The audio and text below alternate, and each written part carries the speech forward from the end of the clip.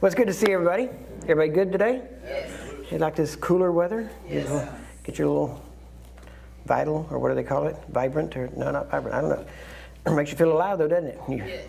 suck in a lot of that cold air when you get out there loading up stuff. We're getting ready to go to, to Henderson, Nevada, which is a suburb of Vegas. And so we were trying to load and get things together, and wow.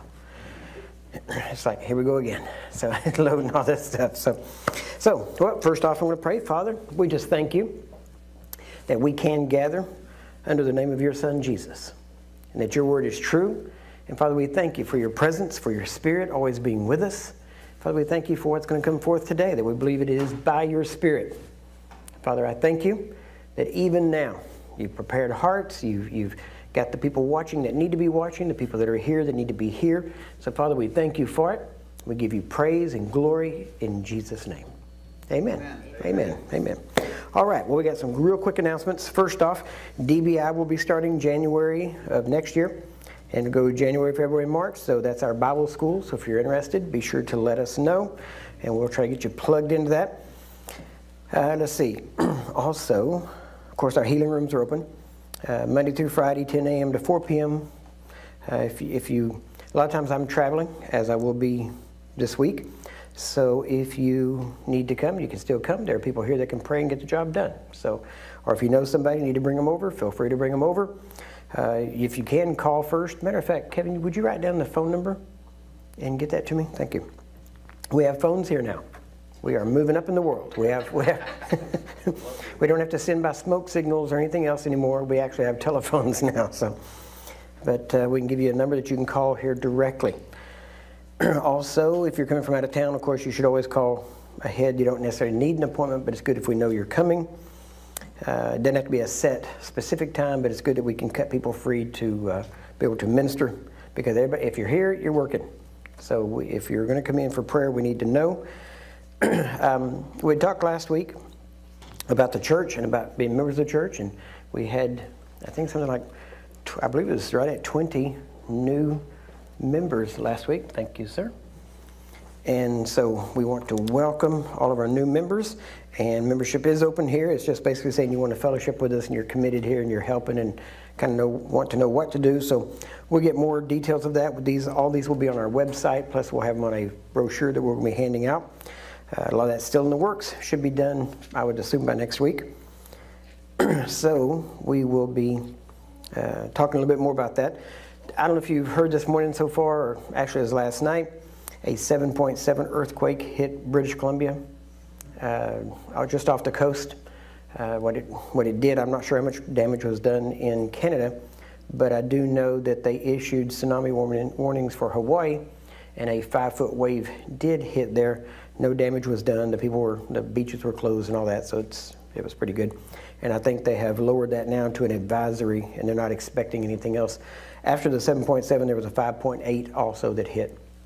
So there was some uh, things going on there. So we want to make sure that we do remember to be praying for them and for those that were uh, affected by that.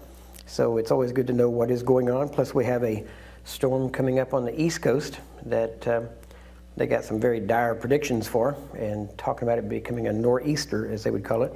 So we're going to be praying against that uh, over the next couple days. So we invite everyone to join with us in um, commanding that thing to die and not to be doing any damage. So we will be doing that. Uh, those of you that are members of the church, you will be getting some prayer directives from us.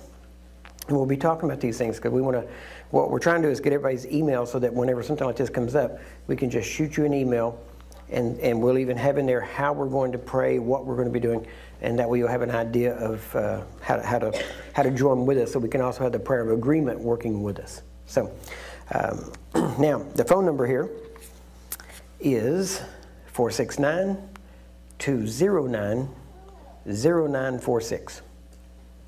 So, that's pretty much all the same numbers over and over again. 469 209 0946. That's here at the offices. So, uh, if you call during regular hours, there'll be somebody that can answer that phone. Now, also, there is a lot going on. Obviously, we had the election coming up. I think they said it was nine days away. So, we are in prayer about that. We need to be, the Bible says, to pray for those that are in authority and we're going to be praying for that. It says to pray for leaders, so we are to pray for righteous people to rule. And if we, if the righteous rule, then the people can live in peace. If the righteous do not rule, if the wicked rule, then the people do not live in peace. So we need to pray that the righteous rule. Now, so there, there's a lot of other details I go into. As I have told you before, we get a lot of uh, emails from people in the military about things that are going on and different things. So at times I will be talking about those. I'm not going to talk about them today because we're gathering some stuff and I'm doing some checking. But there have been some really, um, I would call them disturbing reports coming in from the military to us, uh, talking about some things that are going on in the military and some of the different directives or orders that they've been given. And so we will bring those out at, at a future date once I have, once I've confirmed them and talk with the people and making sure that I'm not putting out something that is illegal to put out. In other words, I don't want to get any of our soldiers in trouble because I repeat something they gave to me. So uh, there's, a, but there is some amazing, if amazing is the right word to use, there are some things going on that uh, we definitely need to be praying against. So we'll keep you in touch with all that. Uh, and, you know, years ago, First, one of the first times I went over to Africa, first time I guess. I was picked up at the airport. I, I went over. I had no one there. I had no real, no real contacts uh, at the in Nairobi when I went in. Yeah, I went into Kenya, and there was a taxi that picked me up at the airport and went about two. They loaded all my stuff up and they went about two blocks, and they had an address where they were supposed to take me. But when they went about two blocks, they stopped. Another guy got in the front seat next to the the driver, which I thought was kind of strange, but my first time in Africa, I thought, okay, maybe it's just a little different culture. Kind of find out it wasn't. It was a plan to rob me and either leave me or kill me or do something, but that was their plan. And uh, at one point, when I understood what they were saying, then I began telling them that if I was to disappear or if anything was to, if they were to do anything to me, that the my president would drop a bomb on top of them. That's what I told them. He might may or disagree with that or agree with it. That's what I told them. okay, so uh, at which time, shortly after that, they pulled over, jumped out, and grabbed all my luggage, threw it out. When I got out to see what they were doing, then they jumped back in the car and took off. So basically, left me not stranded, but not in a convenient place. Um, but now, I was pretty certain at that point that I, I was not on the government's uh, radar in the sense that if something did happen to me, that they would actually drop a bomb.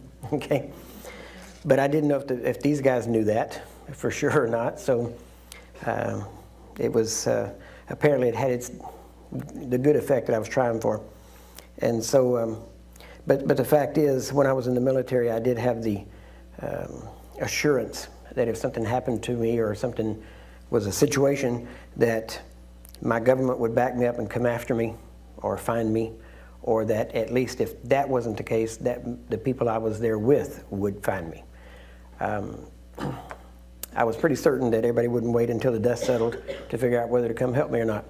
So I have a real problem with that. But um, the reason I'm saying that is because right now our military needs prayer, based on not just the orders are being given, but the military personnel themselves need some serious prayer. They need help, they need backup, they need to know that if anything happens, they're going to be taken care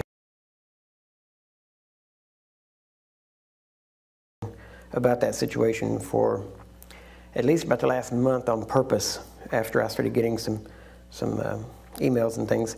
And, and hopefully I'll be able to talk more about this a little bit later on, but I just want you to know, begin praying that the direction that I'm praying is that our military will be taken care of, that they'll do the right thing, they'll be told to do the right thing, and that they can follow the orders and that they will not follow illegal orders. And so that's just kind of the direction that, that I've been praying. So, um, a lot of this has to do with really the mindset of the military at this point. So there is a lot of push back and forth. Uh, part of it's because of this election, but part of it is just the, the way it normally is, just heightened. It's like everybody's on edge. Everybody's, I don't want to say nervous, but it's like everybody's on edge. So a lot of things going on. So be in prayer with that. Uh, the, the scriptures tell us to pray and it gives us a list. So if people say, well, you know, I just don't, I can't pray for an hour. You can pray for an hour just for our leaders. So start going through the list. You know, get a list together and start going through them. We'll be doing this in the future. I'll show you how to do it. But today, when I was um, actually a couple days ago, and I started saying, okay, God, what do you want me to bring out this Sunday? This started coming, and at first, I kept trying to go another direction. You know, you can kind of have an idea in your mind of, okay, I want to cover this, and then God says, yeah, that's good, but go here. You know, yeah, but that's got nothing to do with that. Yeah, I know, just do what I tell you. It kind of goes that way a lot of times. So I um, eventually just kind of gave in and said, okay, we'll do it your way. And so today, this is a little bit different for me because I'm not used to, um, some of the teaching will be kind of, I don't want to say standard, but uh, standard for us, put it that way. But I wanted to give you the idea this morning uh, that there, the church, there's, there's two major branches of the church. Now, we can break this in all kinds of ways. But the two major branches, one is, one exalts uh, secular education, and the other doesn't believe. God gave us a brain. He expects us to use it. He gave us knowledge. He gave us, he told us to renew our mind. So we are responsible. Now, God recreated our spirit, but He told us to renew our mind to the Word of God. Now, so I'm just going to hit some things today. And like I said, this is really strange for me. I've never done it this way. So I'm really, I'm, I'm curious to see how it turns out. All right? So um, it's like we say, if, if you don't like it, tell us. If you do like it, tell others. You know, that's kind of the standard thing. But I want you to think about this. I, Paul several times talked about not being ignorant. And he talked about knowing this. Don't be ignorant about this. Know this. So he said it over and over again. So we're going to look at that some today. But I want you to first think back. Obviously, the way we see the church today is not the way it was in the book of Acts. It, not that the book of Acts was exactly right all the way because there was a lot of problems. But I'm just saying the way, the system of the church today is quite different from even how church was done in the early church. And we all know that. Now, admitted, there are varying degrees of how far the church has gone away from the original plan. We could say that even this wasn't technically the original plan, but as far as culture and lifestyles today, this is one of the best ways to do church, if you want to, if you want to say it that way. Uh, obviously, we do home churches, we do home fellowships, which are always good, and that's where you get a lot of the fellowship and you get a lot of the closeness. Um, but as far as being able to reach the mass of people, this system is about the best we have at this point. Now, we're using internet even now to broadcast. We're using CDs and DVDs and we record. And so we're sending this out. We are using every major form or every form basically of mass communication that we, that we have access to at this point. And so we're doing all we can there. And even though this may not always be the best system, it's the best we have at this point. So you work with what you've got and then you develop and you basically get, you know, find out the best way to do it. But if we were almost 2,000 years ago, we would be sitting in someone's house, possibly. Now, that's if the persecution wasn't going on. If the persecution was going on, we might be hiding in the catacombs, or we might be hiding in caves, or we might be, you know, hiding somewhere else, or meeting in private, or meeting in, in uh, secret, we might say. Much like the church in China does today. They have to meet what they call the underground church and have to meet in homes, and it's very private, it's very secret.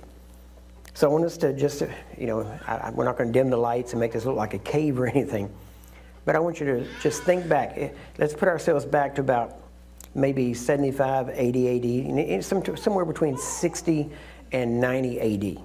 Okay? Now, what that means is at this point we have pretty much all the letters of the New Testament except possibly the book of the Revelation. Uh, maybe first, second, third John, maybe those aren't quite out yet, but we have a, uh, the large majority of the epistles. But now let's think back because we have to realize what we, what we see today isn't what they saw then. Obviously, it was a big difference. In the beginning, there were the 12 apostles, or most of the church never even knew the 12. Most of the church, by the time of the book of Acts, they only knew the 11. And then the 12th coming in, and Matthias was put in. So when they talked about the apostles, already they had one that technically hadn't traveled with Jesus as an apostle, hadn't been sent out as an apostle. Now, it is very possible that Matthias was one of the 70 that Jesus sent out.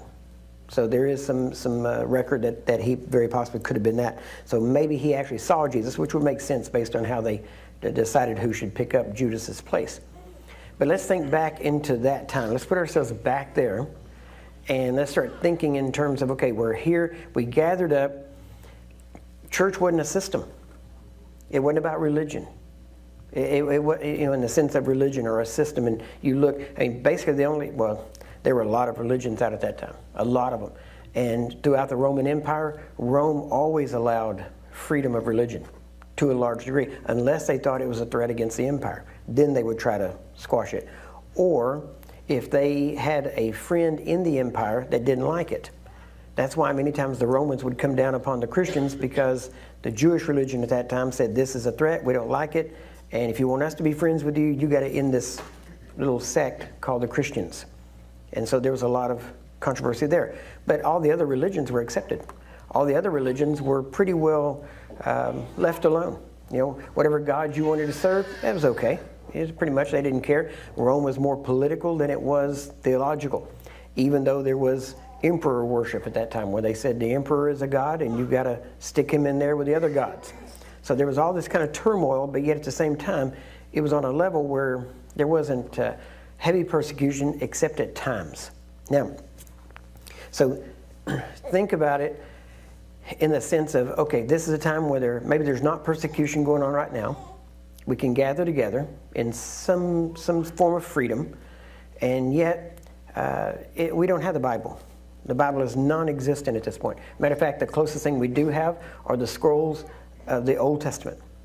And so, you know, even the letters written by the apostles wasn't scripture yet. It was important. It was directives. It was um, in a sense that we would listen to it, but it was direction. And so, from time to time, let's say wherever we are at this point, we have letters, or we hear about these letters being passed around to churches. But you know, they were really um, Paul only wrote 13 to 14 letters, depending on how you count them. And you think about that, and then you look at Peter, right? Just a couple of letters. You look at James. You look at all the different ones. All together, you know, there, there's not that many letters that would have been passed around. They would have had the Gospels started to come out, telling stories about Jesus and, and understanding his life. But as a whole, unless you were a, for some reason, were on the map, you didn't get a letter. Paul didn't sit down basically and write letters to everybody, to every church. Now, he wrote, wrote letters to the churches he went to and that he founded, but a lot of those letters were expected to be passed around. So a letter would come to one church and they'd read it or they'd make a copy of it and write it out and then they would pass it on to, to another church. Somebody traveling would take it, hey, you're going to so and so, okay, take this with you, would you? And you, they would take it with you. And so they would pass these letters around, but it wasn't anything like we have today. It was so scattered, it was so different. Uh, there was no, the closest thing we had to a central authority would have been the apostles in Jerusalem at that point. And even while the church was scattered, a lot of the, a lot, in the beginning, the apostles stayed put. And so most of the gospel was spread not by the apostles, it was spread by believers who were in their daily business, traveled from one city to another because of trade or commerce of some sort or whenever persecution started, many times it was because they were so persecuted they actually had to, to leave and go to another area, which the persecution actually helped spread the gospel. So, and we read about that later in Paul's letter. If you assume that Paul wrote Hebrews, he talks about how they wandered about, how they were in caves, how they were destitute, and what they went through. I mean, you can imagine what they were thinking. If they, if we had lived at that time, we'd be thinking probably what they did which was, wow, this must be it. This must be, this must be the tribulation Jesus talked about. This must be the thing. So you start looking, and I'm not taking a, a position on end times or anything else. Somebody says, what, you know, what is your position on the end times? Yep, I believe we're in them. Simple as that. I believe they started 2,000 years ago because Peter said, this is what Joel said, in the last days I'll pour out my spirit. So as far as I'm concerned, the day of Pentecost started the last days. And the last days have lasted 2,000 years. So when you start looking at this, put yourself there. And, and this is how I read the Bible most of the time is I, I try to put myself in the situation. Maybe as a bystander. I'm standing there watching it go on, but I put myself there. So just put yourself there. We're here, we're in a, a little town off on the side of the road, maybe a commerce area is going through there. You know, the trade routes were coming through there, and we would hear news. We're in the Roman Empire. every so often you'd have a Roman legion march through, and you'd have, uh, there would be uh, the Pax Romana or the Roman peace, which is basically the Romans ruled, and if you caused trouble, they'd just kill you. Pretty simple. And so, picture us on this trade route. And we're, we're in this little town. The town doesn't mean much. It's not a famous town. It's not a big town. It's just it just happens to be maybe a stopover for the night on the trade route where people stop and as they're going to, to market. So here we are, approximately 80 AD, something like that, and we're a group of believers that are gathered together for whatever reason. And, and very honestly, in most towns at that time, this would have been a huge church, huge church, because most churches were in the in the homes, and you would have the families, but it would you would usually even according to Jewish tradition, whenever you got 12 families together, then you built a synagogue. And so it was always built toward that. So a church like this, this would have been a huge local Christian fellowship because the Christians were looked at as a cult. And they were looked at as an offshoot of Judaism at that point until the, the final break was really made. Well, picture that. We're gathered up and we come together on the Lord's Day. And as we come together, you, we don't come in, you don't bring in Bibles. Yeah, most of you wouldn't have had even things to write on or write with. You would have just came to, to hear what you could. There would have been some teaching. The teaching would have probably not lasted that long unless you had a somebody like Paul that was coming through that happened to stay over the night, and then we know how he did. He preached deep into the night many times because he had a lot to say. But picture if you had just a local church, and more than likely, as being a pastor of a local church at that time, I would have been, uh, I would have had a trade, you know, a typical trade, uh, doing something in the city, doing something normally during the week. But at the same time, at that point, there would not have been what we would consider as an office of a pastor where that's all they did. And they, they would have worked with their hands. They would have built tents like, like Paul did at times, or built different things, and they would have had, they would have had a trade where they made their living. And yet, at the same time, they would have had a calling. They would have been a Christian. Usually, the first Christian in town ended up becoming the pastor. Why? Because he was the most mature, and at that time, they would have called him an elder. And so he would have been learning, and as news came in, they would have came in to find who was a man of peace in that town, which would have been that person, and that's where the news would have been disseminated from. They would have come in and said, "Here's here's here's the news." So whenever you had a visitor come through, you say, "What's what's the news in the empire? What's going on?" Uh, you know, with the apostles, where are they at? Well, you heard, you know, Paul got arrested. No, when did that happen? Well, about two weeks ago. Well, what are they going to do? Well, we're not sure yet. You know, he's appealed to Caesar, so, you know, it's still in the air, so be prayed. So I, I just want you to get that mindset of what it would be like to live then. It wouldn't have been this. It wouldn't have been where your alarm clock goes off and you go and get in your car and you come here and you you know you have an idea of when it's going to start, when it's going to stop. It wasn't like that. You know, it was much more. It, it was like a big family, and this this wouldn't have been the only time you saw each other during the week. You probably because the small area, we probably would have been probably had shops next door to each other, talk to each other, and while we're sitting there and there's no customers buying our goods, we'd have been discussing the fellowship last week. We'd have been discussing the message that came out. We'd have been discussing, wow, did you hear that, that, that tongues and interpretation? I've never heard anything like that. That was amazing. Because you know him. You know he doesn't know, you know, this form of, of this, this language. And yet God spoke to him. You'd be disgusted. This would be big news to you. That God could actually speak in another language through someone. So you got this idea of, well, this would all be so brand new. Remember back when you first got saved, how everything was just so dramatic everything was big. And, and you got so excited, and you got around older Christians, and they're like, well, you'll calm down. You know, and it's like, yeah, I can see your fire just dying. You know? But that's the way they were right then because it was all new. And honestly, by that time they would have had some letters, but the letters wouldn't have been put together. They would have come in piecemeal.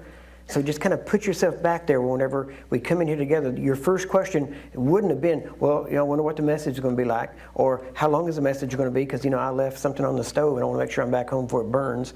You know, I left something in the crock pot. You wouldn't have thought that way. It would have been, uh, you know, not only it, what, what's the message going to be about? It would have been more along the lines of what's the news? Well, what's going on throughout the rest of the empire? How the, you know, is the persecution coming here? Because we heard pers- persecution starting, how bad is it going to be? Is it going to be local? Is it going to be just in Jerusalem? Or is it going to reach us? What are we going to do? And so that mindset would have been together. So when you come together, you'd have been gathered up and been talking even before you kind of get and said, okay, hey, let's, uh, let's get started. Even before that, there would have been this discussion, you know, well, have you heard of anything? Have you heard what's going on? And there would have been this, this the real thing would not have been the message, it would have been the news. So it would have been, what are we, what are we going to find out? So today, what I want to do is I want you to think in terms of that's us. We've gotten together. You don't know the Bible. You've not read through it. All you know is that from time to time you get a letter, you get something, and, and the letters, and the bad part is, the letters aren't even written to you. They're written to the church 300 miles away. That somebody come through is take what they were told to take it to that other church, and all along the way they stopped, and was because they spent the night. They said, "Oh yeah, I'm carrying a letter from from Peter." Really, what does it say? Well, it's to the church there, but here I'll read it to you because he said, "Let it be read to the churches," and Paul said the same thing to his. So let's just read what it what it says, and here's what's going on in that church. And Peter was answering the problems, or Paul was answering the problems. So you would listen in, more or less. But it wasn't written to you and delivered to you. It wouldn't have been a, you wouldn't have taken it as a thus saith the Lord to you. Why? Because it was a letter that you just eavesdropped on. And so picture yourself there. So we gather up. Now, we don't have a letter to ourselves. So I can't just come to you and just read a letter to you other than letters that were supposed to be passed around. But let's just take some pieces and, and so I want us to think in terms of, let's say we travel, let's say half of the people in this room traveled uh, on your daily business and you had to go to this town, or maybe maybe there's several towns and outlying towns, and your business meant you had to go around to each one during the week. And as you went around, you would meet with the Christians. Why? Because they would draw the little thing in the dirt, and then you would notice it, and you'd draw the other half of the fish symbol, and that's how you knew you were a Christian. And you say, "Yeah, can I talk to you?" Yeah. Well, what have you heard? Well, you know, we got this. Well, have you heard anything? Well, I got this, you know, the, I got this part of a letter. Uh, they were telling me about it. And when I read the letter, when, when uh, Timothy came through carrying a letter from Paul, I, I, I, got the chance to read it, and he let me read it. So I, I wrote down some, some pieces that stood out to me. So let me share some of those things because this is directives from Paul. And so I just want to kind of get you in that mindset. So, and then if you were going to talk about it, you say, you know, uh, for instance, and this is what we're talking about in the beginning, don't be ignorant. Be sober. Don't be ignorant. Be sober. We're going to look at, at kind of these things. And, and it may not, it may not, this may not be going the way you think it's going to go, just by the title, right? Because the first thing in the first century church, guess what? Their messages didn't have titles. Why? Because they were not topical. And generally, when you got a letter, you read the whole letter. You didn't go in the letter and pick out bits and pieces here and, and this kind of thing and try to fit it all together. Usually that's where wrong teaching comes from, is when you start picking and choosing. But when you read expositionally, then you get the whole idea of what was being said. That's why I was telling you, read everything. Read every word. Go into it. Check out every word. But today I want us to think back like you were in that first century church and like we don't have all these letters and we can't just pick up the Bible, Bible or pick up a computer and look up a word and all of a sudden you've got, you know, this word is used 325 times. And then it takes you through every one of them. We don't have that. What we have is a few snippets. We come together and you say, Well, I read this. And I remember Paul said, Well, you know, Paul said not to be ignorant. Oh, I remember Paul said not to be ignorant about this. Does anybody remember anything else Paul said not to be ignorant about? Well, I remember him saying not to be ignorant about this thing. You see, we would start kind of pulling together ideas of what Paul was saying, don't be ignorant. And then you start realizing, you know, Paul said that to a lot of people. He said it to a lot of different groups. Almost every church he wrote to, he said, Don't be ignorant. And many times he'd say, Be wise. And he almost always put them together. Or, Don't be ignorant, be sober. Be sober minded. So let's just look at some. of Did we get these little snippets? I want to just bring these out. Romans 1.13. Now, again, that wouldn't be something you would have heard in the first century church because it didn't have chapters and it didn't have verses. So you just had to be able to say what they said. And so if you want to look it up, I'll give you these scriptures, but Romans 1.13, Paul writing to the church in Rome tells the Roman believers, a group just like us, he tells them, Now I would not have you ignorant, brethren. Now notice he's talking, he says two brethren, so we know he's talking to. But I would not have you ignorant, that oftentimes I purposed to come unto you, but was led hitherto, or was hindered, is the way they would say it that I might have some fruit among you also, even as among other Gentiles. He said, Brethren, I don't want you to be ignorant. I want you to know. Don't, don't think I don't care about you just because I haven't showed up there. Paul is saying, I want you to, I, I don't want you to be ignorant. I want you to know that I have tried to get there, but I've been hindered. So now notice, things didn't always go the way Paul wanted them to go. Many times he was trying to go one place and God would give him a dream or something. He'd go somewhere else. Or he was trying to go somewhere and he couldn't get there. And you know that would be pretty frustrating. I, I, know how frustrating that can be at times when you're either trying to get to a physical, geographical place and you can't get there for whatever reason, or if you're trying to get the church someplace and can't quite get it there. You know, and you have to keep going back and not starting over again, but just laying the foundation. Because the worst thing you can do is get a group built up to a certain place without that foundation, because then they're real shaky. And the idea is that you have to build that foundation into them. So he says, Brethren, I don't want you to be ignorant. I want you to know I want to come to you. I've tried to come to you. I've purposed in my heart to come to you. My heart is with you. I want to be there. Then later on in the same letter, which was a pretty good sized letter, in what we call Romans 11, chapter 11, in verse 25, he says, he tells them again, same letter to the same people. For I would not, brethren, that you should be ignorant of this mystery now, now listen carefully, because when he referred to the mystery, he's almost always talking about the mystery of the gospel, the mystery of the death, burial, and resurrection of Christ, the mystery of this new creation, Christ in you, living in you by the Spirit. But he said, I would not, brethren, that you should be ignorant of this mystery. Why? Lest you should be wise in your own conceits. You get that? In other words, if you know the mystery, you won't be wise in your own con- uh, conceits. But if you don't know the mystery, if you don't know Christ in you, the hope of glory, if you don't know that it is by God's grace that He puts His Spirit within you, and, and how great a grace that is, that the very Spirit of the living God can dwell in what we would consider mortal men, that by that God has agreed to live in us. What an honor that that would be. But he said that I might have some fruit among you also. In other words, I want to come to you because I want some fruit for, among you. And we would look at it and go, well, Paul, that was pretty conceited right there. You want to come to us so you can have fruit? That is, it doesn't sound like you really love us. It just sounds like you want to have some fruit to, to present to God when you appear before him. And people say, well, you know, that he, he should have been operating by love and he should have been wanting to do it by love. And when I, when I hear statements like that, Paul wasn't really that kind of guy. You read his, his, uh, his messages, you read his life story. He was, he was a lot more like Lester Sumrall. Lester Sumrall, when you read about his life, when he first got saved, he said, I, I preach because God said, you preach or you die. He said, I wasn't preaching because I love people. I didn't care. He said, I was preaching to live. Now you would think, well, that doesn't sound like a good call to ministry. Yeah, well, he's still preaching, even though he's dead. Why? Because the fruit of his ministry over the years what has come out of that. It was amazing. In the early days, he, he would tell people, you need to get saved. And he went down one time to a, to a young lady and said, don't you want to get saved? And she said, no. He said, well, then go to hell. Turned walked off, and the lady passed out, fainted, fell over in the, in the aisle. And later on, whenever she came to, she was saved. And he said, uh, why, why, did you, why did you get saved? You know, I thought you didn't care. She said, Well, I never had a preacher tell me to go to hell before. And he said, just kind of shocked me. And that's why she passed out, literally fainted. And he said, Well, there's only two places to go. If you don't want to go to heaven, you're going to go to hell. He said, That's your choice. So I just told you, you know, you made a choice. And, and, but whenever she came to, guess what? She was saved. Right? Now, see, today he would have been blasted for saying that. Before she ever woke up, they would have already run him out of town right? But the fruit of his ministry was a result of it.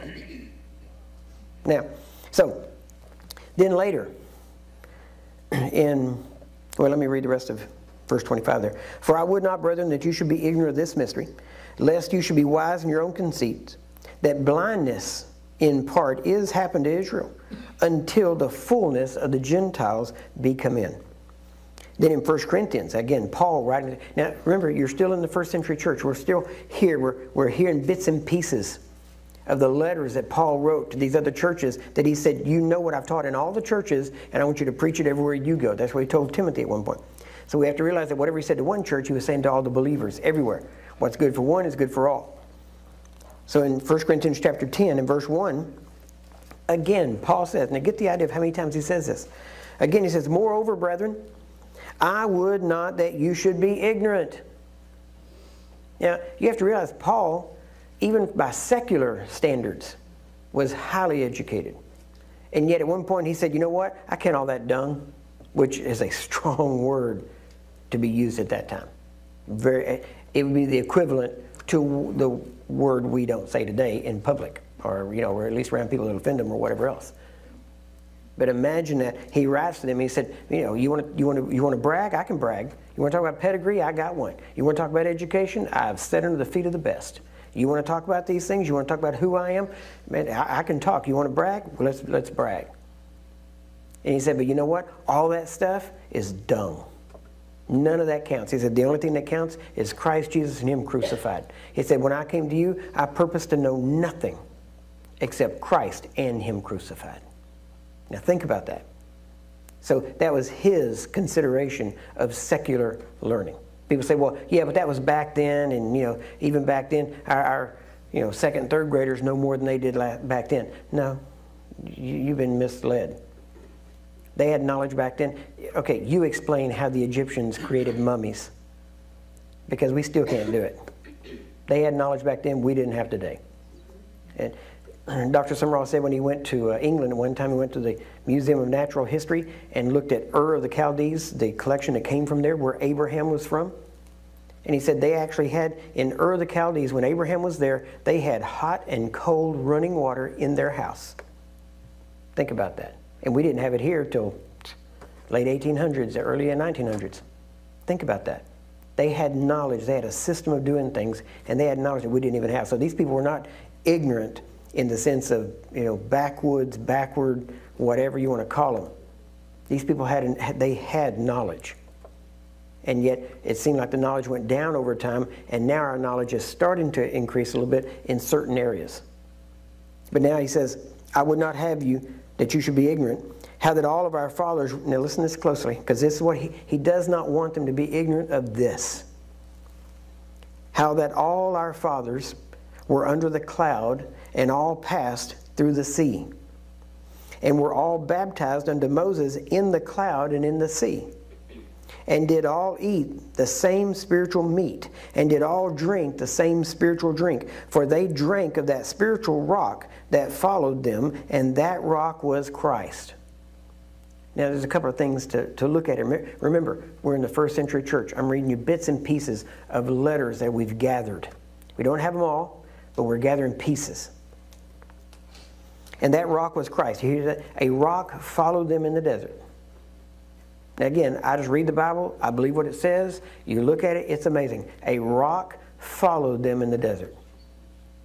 Now, automatically, now, if you were at the end of the trail,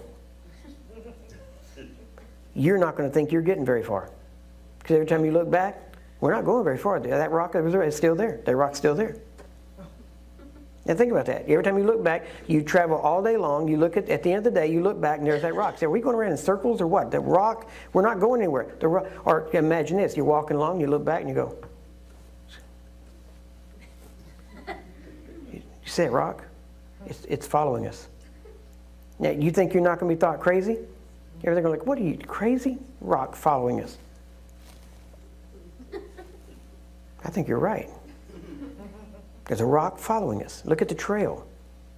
Because they would have to leave a trail. I mean, think about that. This thing followed them. And then later on, they find out, guess what? We're going to get water from that rock. Is that right? You have to think, this isn't just stories, this stuff really happened. And now he says, and that rock was Christ. That was where all that life came from. He says, but in verse 5, but with many of them God was not well pleased, for they were overthrown in the wilderness. Now, now watch this. Now these things were our examples. Those things were our examples. To the intent, in other words, now he's going to say this is what the example was about. That we should not lust after evil things as they also lusted. In other words, let what happened to them be an example to us that we should not have the same heart and mind that they had. He says, now watch, verse 7 Neither be ye idolaters. Well, now, how many of you say, well, I want to be an idolater? That's idolatry is what? That's my thing. I want to be an idolatry. Well, no Christian would ever say that. But now notice what he says. Now, because let's look at what he was talking about with idolatry. Let's look at their definition of idolatry. Neither be ye idolaters, as were some of them, as it is written. Now he's going to give the example of how they were idolaters, how they were in idolatry. The people sat down to eat and drink and rose up to play. how awful. Do you see how we look at these things? You say, well, what's wrong with that? That's idolatry. When you live to sit down and eat and drink and get up to go play, and it's all you live for, guess what? You're in idolatry. And that's the idolatry that caused them to be destroyed in the wilderness. And yet, okay, right there in your, in your Bible, you could put little parentheses, or if you want to break up the chapter right there, you could just write the American Dream.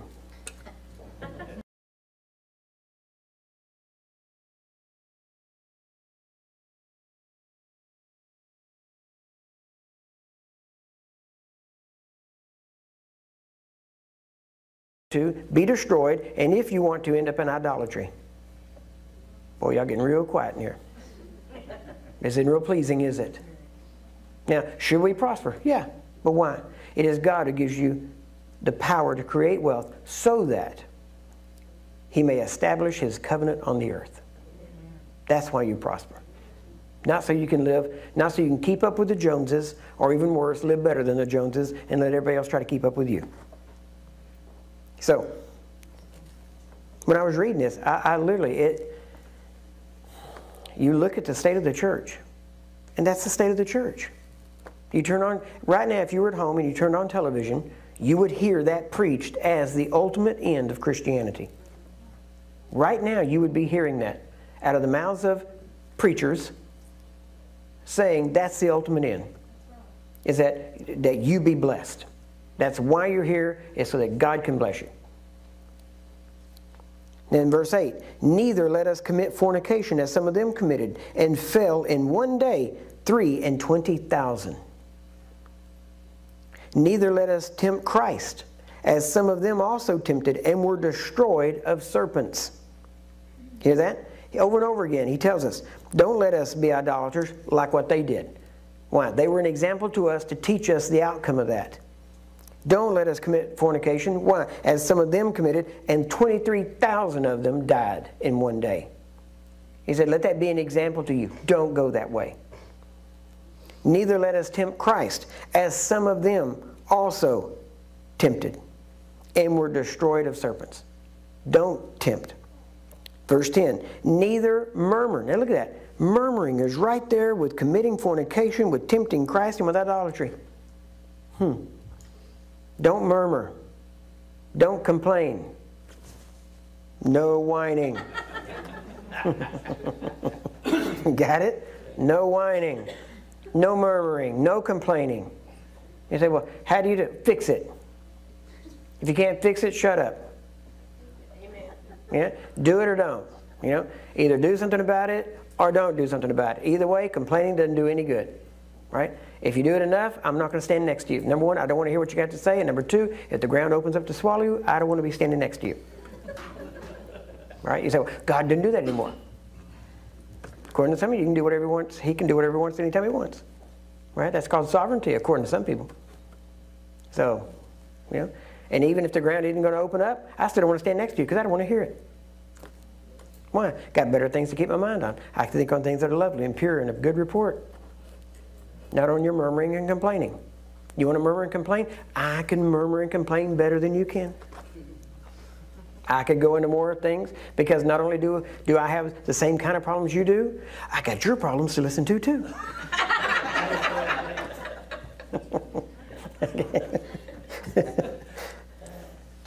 you get that? All right, so you start complaining, I can add anybody else's complaints to it too. I can say, yeah, you know what so and so told me? They got this too. We go down a whole list. Their list will be longer than your list. Why? Because you got everybody's, right? So we can all come together and complain, but nothing good's going to come out of that. No, nothing's going to change unless you change it, right? As they always say, be the change that you want to see in the world. I think it was Gandhi said it first. Then Michael Jackson picked it up.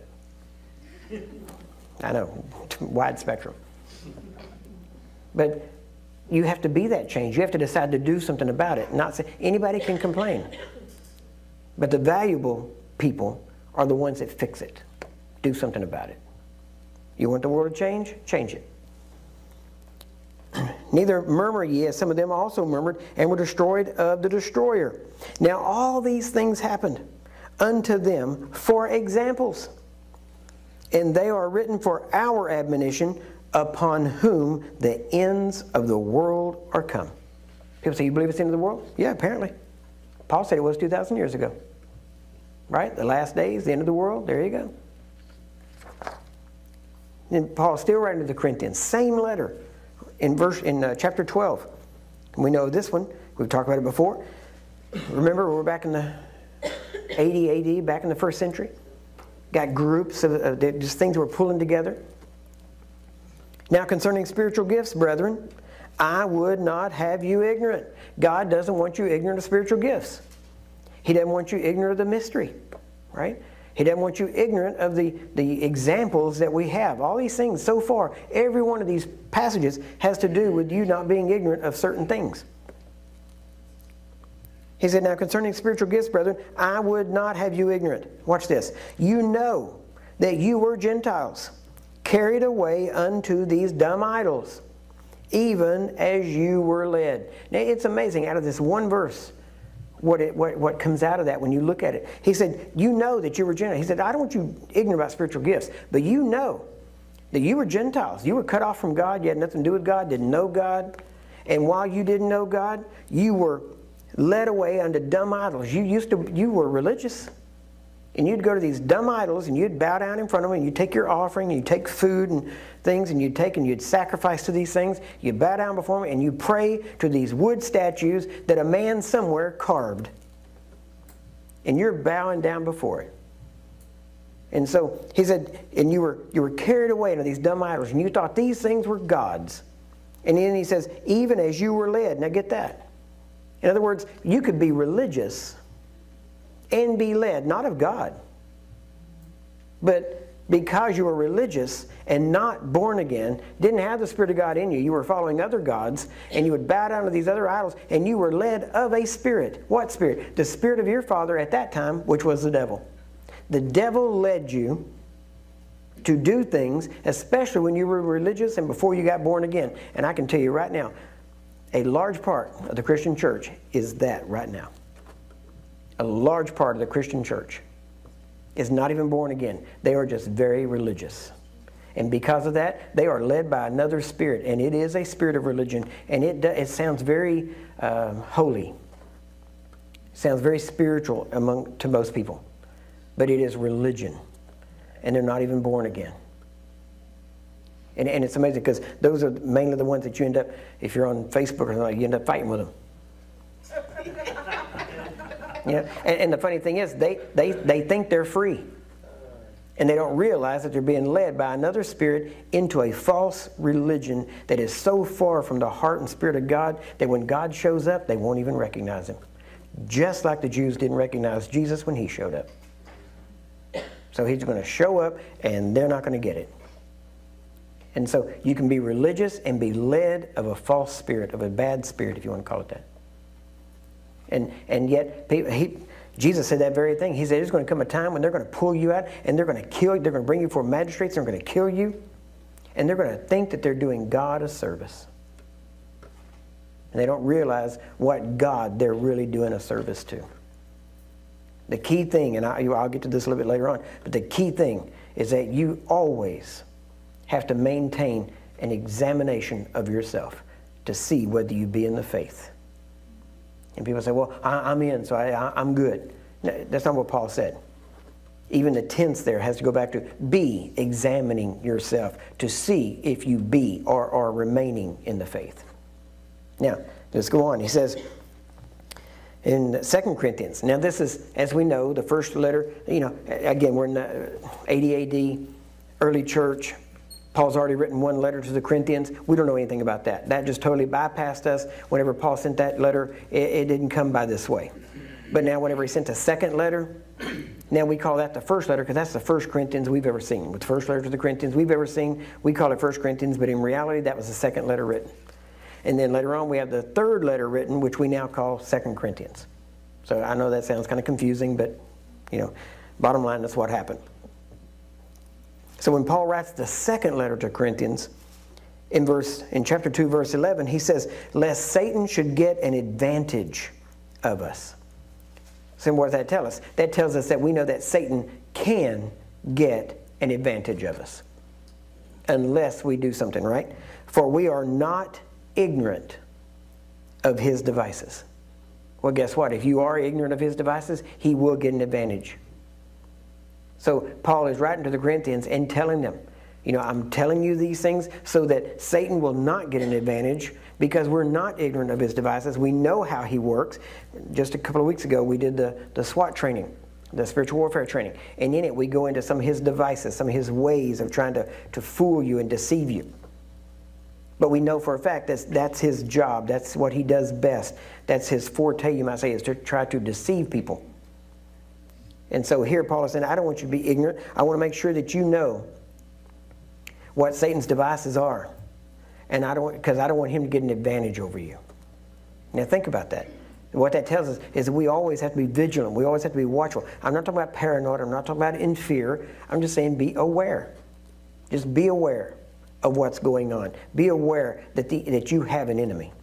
That's the biggest thing that the church is missing today. Most of the church doesn't even recognize that there is a war going on. Most of them think that, well, you know, the, the war is over. It's not over. It's won, but it's not over. So there's a big difference. The war is not over. We're in the middle of it right now. And that war is spiritual warfare, and it is Satan trying to get an advantage over us. First Thessalonians. Now Paul writes to the Thessalonians. In chapter 4, verse 13, he tells them, But I would not have you to be ignorant, brethren. About what? Well, concerning them which are asleep. Why? Because Paul, in the, in the uh, church at Thessalonica, people had come around and said, oh, you know, the resurrection, all that's already happened, it's already passed, it's already done. And people were getting upset over it, and they're thinking, oh, we've missed it. We've, we've done this, what's going on? And Paul says, listen, I, brethren, don't be ignorant about them which sleep, that you sorrow not, even as others which have no hope. In other words, don't worry about it. It's not past. You've still got a hope. There is still the hope of his returning. It's not done with. And Paul is writing to them, and he said, I don't want you to be ignorant about this thing. And yet we still have, even in the world today, 2,000 years later, we have denominations, we have cults that have built most of their foundation on the fact that all of this is already past.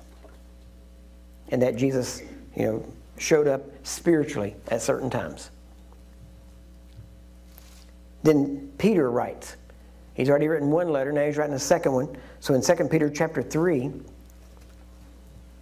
in verse 8, he says, But beloved, now Peter is warning them, be not ignorant of this one thing, that one day is with the Lord as a thousand years, and a thousand years as one day. You hear what he's telling them? Don't be ignorant of this one thing. Know this. And what's now he, he kind of condensed what he's saying here to that one scripture, one verse. But then the purpose of that one verse is very simple. It's verse 9. The Lord is not slack concerning his promise. He said, listen, God doesn't count time the way we do. But don't give up. Don't quit. Why? Now, if anybody was quick to quit and quit, you know, quick to do anything, it was Peter. He was always quick to jump in and quick to jump out. He said, The Lord is not slack concerning his promises. Some men count slackness, but is long suffering. He said, See, look, you think God is not going to do what he said he's going to do. It's not that God's not going to do it, it's that God is long suffering. He's waiting to make sure that everything's right. Because if he does it according to your time schedule, guess what? There's going to be people left out. There's going to be people that are not in. Maybe even you yourself won't be right. So he is not slack in his promise. He will do what he said he's going to do, but he is long suffering. He's giving you time to change. Think about that. He is long suffering to us or toward us, not willing that any should perish, but that all should come to repentance. You have to remember, many times they were praying, it, as many maybe you have prayed. Oh God, let today be the day. Let it be over. I'm done. I'm right with you. Come on. Let, let's just get out of here. And he says, You know, I, I would, but, but that is so selfish because your neighbor doesn't know yet. Your neighbor doesn't know to accept me and he doesn't know to reject me. He just doesn't know. So instead of you thinking about you getting out of here, thinking about going, think about the long suffering and think I'm giving you time to win your family, to win your loved ones, to win your neighbors. Get your mind off of you and quit thinking selfishness and thinking, I can't stand anymore, take me out of this. No, think in terms of there are people that need God. He said that not only that any should perish, but that all should come to repentance. But the day of the Lord will come as a thief in the night, in the which the heavens shall pass away with a great noise, and the elements shall melt with fervent heat. The earth also and the works that are therein shall be burned up. Seeing then that all these things shall be dissolved, in other words, seeing that this is going to happen, what manner of persons ought you to be in all holy lifestyle, conversation, and godliness? Hear that? In words, this is listen. He said he's he's holding off. He's not coming because it's not a matter of uh, he's forgotten his promise. He knows his promise and he's holding back. He would rather be here now, but if he comes now, then are you going to be ready? He said, but knowing that this stuff is going to happen, knowing this is going to pass away, knowing all is going to burn, all that stuff, knowing all that, what manner of people should we be? Should we be living holy lives before God? Should our, our, when it says conversation, it means not just what you say, but your entire lifestyle. Your entire lifestyle should be that. He says, looking for and hasting unto the coming of the day of God, wherein the heavens being on fire shall be dissolved, and the elements shall melt with fervent heat. Nevertheless, we, according to his promise, look for new heavens and a new earth wherein dwelleth righteousness. Wherefore, beloved, seeing that you look for such things, be diligent, that you may be found of him in peace, without spot and blameless. Now, some would tell you, oh, well, that's already been all done for you, so you ain't got to worry about it. Well, in the spirit, guess what? That's true. You've been recreated, your spirit is blameless, but guess what? He tells us to cleanse ourselves of all filthiness and superfluity of the flesh. And he talks about and in the spirit. So your spirit's been made right, but your soul can so taint everything else that it completely messes you up. And he says, listen, live godly, holy lives. Live right. Be holy. Be, be blameless, without spot. That's where he's, he says, that's how we should live. Knowing what's coming, we should live this way, expecting and knowing that the only reason, reason it hadn't already happened is because he is long suffering. Because if it came yesterday, don't raise your hand, but how many of you would have missed it? You say, well, but you're talking to believers. Am I? I hope so, but I don't know. Why? Because I'm not judging you. I don't know what your heart is, and, and I don't know. Even if I talk to you, I don't know. Because most people nowadays that come to church know how to give the right religious answer. And they can fool people, but they can't fool the spirit. And many times you get that little, eh. it's like something ain't right. But inside now, that doesn't mean you go, something's not right with you. No. If anything, you pray. God, if there's something there, help them. Bless them. Whatever it is. Let, let their eyes be opened. But there has to be that part. Just because people say they're a Christian doesn't mean they are. He said, an account that the long suffering of our Lord is salvation, even as our beloved brother Paul, now Peter is referring to Paul, also according to the wisdom given unto him, hath written unto you, as also in all his epistles, speaking in them of these things, talking about holy living predominantly, in which are some things hard to be understood which, now listen this, which they that are unlearned and unstable rest or wrestle with, as they do also the other scriptures, unto their own destruction. You hear that? People in the church, that's who read his letters, wasn't the people outside the church. The, the, letters were written to people in the church. And he said, These people, they don't get it and they don't understand it and they're not living these kind of lives and, and God has not changed their heart to that point. But now notice, he says, And because of that, you he says right there that these people will take these things and they're unlearned, they don't understand, and because of that, they wrestle with the scriptures to their own destruction, and it ends up taking them away from God. Now, I know, and, and again, this is kind of like you're, you're in this first century church, and every now and then I give you kind of a, a commercial break.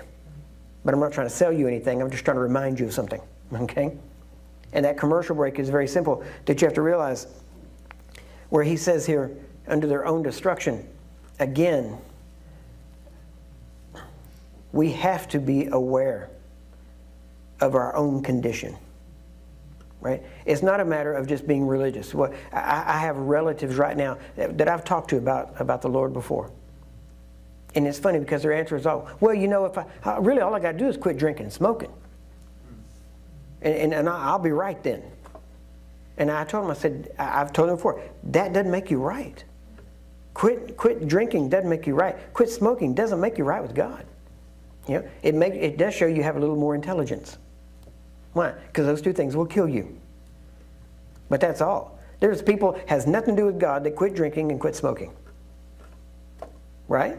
So it has nothing to do with you being right with God or not. Right with, and, and what I always try to tell them is, it's not what you get rid of that makes you right with God. It's that you get right with God and then watch what you start getting rid of. Why? Because things start falling away. Paul tells us, let us lay aside the sin and the weight which so easily besets us. So he tells, it's the change of heart that counts. It's not the outside. It's not, well, you know, I want to quit smoking so I'll fit in with the group. No, you can fit in with the group here and yet still miss heaven. You understand what I mean by that? Miss God. So there has to be that change. You, you can't partake of the, the, the table of the world and the table of God. You can't do it. You, you can't do unrighteousness and be righteous. You can't do it. It is impossible. Now, I know I'm making people, if people watching on the internet, there's people out there I'm making mad right now. There's people probably, you know, if we watch the numbers on our internet, it's probably dropping. Why? And I don't care. You know, honestly, if all of you got up and said, I, am I'm, I'm not listening, it's all going. And guess what? I'd turn around to my own family and say, Y'all going to leave too? Why? Because that's what Jesus did. Why? Because you preach truth. Whether people like it or not, whether it hurts your income or anything else, you preach truth. You know, if I if if I couldn't make a living doing what I'm doing, guess what? I'd go back to doing another type of job, and I'd still keep preaching. I'd still keep praying for people, and in many ways, it'd be much easier. Many ways, because then I wouldn't be responsible to be available to go everywhere that I go. But I have to preach the truth, and I have to, and and it's very clear. If I don't warn you, if I don't warn people that need warning, I'm not saying everybody in this room needs warning. But if there's one person here that needs warning, and I don't warn you, your blood's on my hands. So I will warn you. And what I will tell you is examine yourselves. Now, I'm not going to come look over your shoulder, look in your backyard, and tell you what you ought to clean up. I will tell you, get before God, get right with God, get, get before Him, and tell Him, search me. Anything that's not of you, tell me, I'll remove it, or you remove it. Either way, it's got to be gone. Now, mostly you got to do it. That's, that's why most people don't do it. Now, I'll show you that in just a minute. But he said that they wrestle these things to their own destruction. Peter's still talking, verse 17. You therefore, beloved, seeing you know these things before, beware. Now, now think about that. Now, if there's no danger, why do you need to beware? You know, if it's all, if it's if it's just done and there's nothing for you, you have nothing to do with it. Why do you need to beware? But he said, Beware lest you also, being led away with the error of the wicked, fall from your own steadfastness. Led away with the error of the wicked, fall from your own steadfastness. All right? Now, listen, I'm not here today trying to tell you what all these verses mean. I'm just making sure you hear them. You decide what they mean. You go back in, you study it. You know, and don't write me letters or emails. You know, complaining. I had one, I'm going to mention a little bit later on. I don't have time to talk about it now. But they were asking me, well, you sound like you, like you believe you can lose your salvation. And like I said, I don't, I don't have time to get into it now. I will do a teaching on that in the future. But I'll tell you this I, I will tell you this much right now. God did not save me against my will. And I really can't imagine Him keeping me against my will.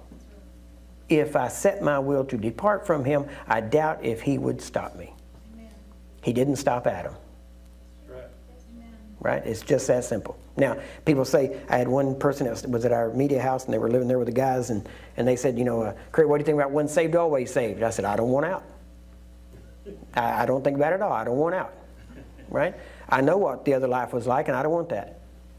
But Jesus said, if you don't hate your life, I'm going to, at one point here in the near future, I'm going to be doing a complete teaching on what it means to be a disciple. Because the very first thing Jesus said about being a disciple, most people don't agree with. He said, except you hate your life, except you hate everything about your life, you cannot be my disciple. Unless you forsake everything you cannot be my disciple. Those two things right there just knocked out probably 90% of the average quote unquote nominal Christian today. Because they come into Christianity thinking, uh, my life isn't that bad, could be a lot better, and according to most Christian teaching I hear, if I come to Jesus, He'll fix the broken places and my life will be perfect. And Jesus never said your life is going to be perfect. He said, if you're going to, even Paul, he, he spoke through Paul at one point and said, if you're going to live godly in Christ, you will suffer persecution. You will have tribulation. He said, but don't worry about that. I've overcome the tribulation. I've overcome the world, and because your faith is in me, you can overcome too. But we are commanded to overcome. He didn't say you've already overcome. You are commanded to overcome. He said, to him that overcometh. So, now, he goes on here. 2 Corinthians. Now we're back to 2 Corinthians, chapter 5. Verse 13, he says, For whether we be beside ourselves, it's to God. Or whether we be sober, it is for your cause. Whether, and what he's saying there, now when he says sober there, he's not talking about not being drunk, you know, with alcohol. He's not talking that at all. Usually when he talked about sober-minded, had very little to do with, you know, alcohol or anything like that. He was saying, listen, think clear, you know, use your brain, use it correctly, be sanctified, right? Have your mind renewed. And here he said, if we're, if we're beside ourselves, if we're, if we're crazy, guess what? We're crazy to God. But if we're sober, it's for your benefit. If we're thinking sane, and actually the word there for sober is for your studies, number 4993 in the Strong's Concordance. It is the Greek word sophroneo, and it means to, be, to have a sound mind, to be sane and moderate. Not, not extreme, moderate, but to be have a sound mind, to be sane. First Thessalonians, again, Paul writing to the Thessalonian church in verse 5, or chapter 5. Now remember, we're in that first century church. We're getting these pieces together, and we're starting to put these things together. He's, and Paul says, But of the times and, and the seasons, brethren, you have no need that I write unto you. For yourselves know perfectly that the day of the Lord so cometh as a thief in the night. And when they shall say peace and safety, then sudden destruction comes upon them. Now, notice who it comes upon? The ones yelling peace and safety. Right? Now, just as a, to throw this in here real quick, Benjamin Franklin said, that the person who would trade freedom for security deserves neither. He says, For when they shall say peace and safety, then sudden destruction cometh upon them, as travail upon a woman with child, and they shall not escape. But you, brethren, are not in darkness, that the day should overtake you as a thief. Hear that? It's not supposed to overtake you as a thief. Why? Because a thief comes when no one's expecting. A thief comes when no one's prepared. He's saying, be prepared. Brethren, you you're not like them. You're not in the dark. Your eyes are wide open. You know what's coming. If it, take, if it overtakes you, you shouldn't be surprised. You ought to be going, yeah, I, I was waiting for you. It shouldn't, it shouldn't come upon you. It shouldn't take you by surprise. Why? Because you're not in the dark. He said, but you, brethren, are not in darkness, that that day should overtake you as a thief. You are all the children of light and the children of the day. We are not of the night nor of darkness. Therefore, because we're not in the darkness, because we're, we're children of light, let us, therefore, let us not sleep as do others. He's not talking about don't, don't go to sleep, stay up all night. He's not talking about that. He's saying don't be slumber minded. As we would say, don't put your head in the sand right? He said, as do others, but let us watch and be sober. And that word sober is actually different than the other one. It's a number 3525 in Strong's Concordance. And it means literally to abstain or to be disciplined. Hmm, imagine that. Discipline. Well, why do you need discipline? It's all done, nothing matters. See, you need discipline because that shows the sane mind. You need discipline because it shows that you are expecting that day. He says, For they that sleep, sleep in the night, and they that be drunken are drunken in the night. But let us, now notice how he's contrasting that and saying, Let us not be like those who sleep in the night and are drunk in the night. Let us, who are of the day, be sober. And that word there is number 35, 25, same word as in the verse above it. It means to be sober, it means to be to abstain and be disciplined. But let us, who are of the day, be disciplined. Putting on the breastplate of faith and love, and for an helmet, the hope of salvation. You hear that? Now, why would believers put on the hope of salvation? If you got it, you got it. But see, there is still a hope in the sense that you've not endured. You still must endure. It's not a matter of it's done, you must still endure. Now, this is what Finney, and if you go back and read Finney's work, he called this the perseverance of the saints. You believe, and it's like breathing. You didn't breathe once. You say, Well, I breathe, so I'm good. No, you'll be dead. No, you breathe, and as long as you breathe, you are breathing, you're alive. Okay, when you had faith in Christ, your faith in Christ must continue on, and that faith must be lived out and proven by your life, by your works even.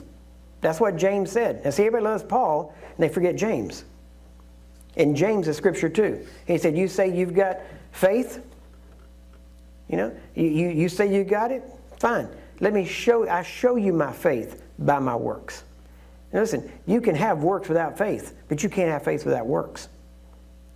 Right? Now, you don't get saved by works. You get saved by faith. And because you're saved, you work. Why? Because to him that is forgiven much, there is much love.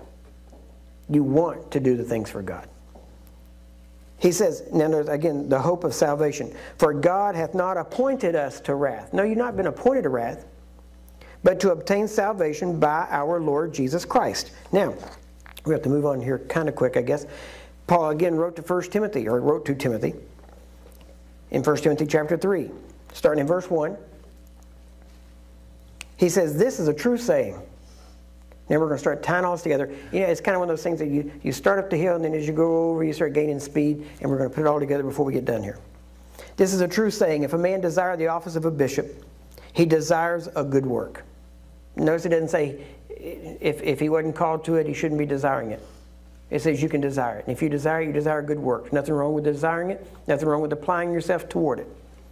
A bishop then must be blameless, the husband of one wife, vigilant, sober. There's that word sober again. Now, the word sober there is number 4998 in Strong's, and it means safe. It means self controlled, and it means moderate. You hear that? A bishop must be safe, self controlled, and moderate, of good behavior, given to hospitality, apt to teach, not given to wine, no striker, not greedy of filthy lucre, but patient, not a brawler, not covetous. Why? Because covetous is idolatry one that rules well his own house, having his children in subjection with all gravity. Get that? Children in subjection with all gravity. In other words, they should be sober minded too. They should pick up from their father that things are serious, things are right. Not that you can't have a good time, not, but that you know what counts, what is important. And what, what's important is anything that can pass away isn't important that those are temporal. What's eternal is what's important. He says, one that rules his own house well, having his children in subjection with all gravity. For if a man know not how to rule his own house, how shall he take care of the church of God? Not a novice, being lest being lifted up with pride, he fall into the condemnation of the devil. Moreover, he must have a good report of them which are without, or outside the church, lest he fall into reproach and the snare of the devil. Likewise, must the deacons be grave, serious, not double tongued, not given to much wine, not greedy of filthy lucre, holding the mystery of the faith in a pure conscience. And let these also first be proved. Then let them use the office of a deacon, being found blameless. Even so must their wives be grave. You get that? The wives must be grave. The same requirement for the leader for the pastor, for the deacon, for is also the requirement for the wife. Not slanderers, sober, Now, that word sober is number 3524. It's a different word. See, that's what I don't like about the King James is they, they would use the same English word for all these different Greek words.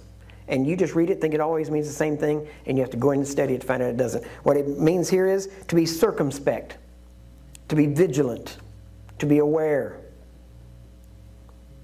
faithful in all things. Then in Titus,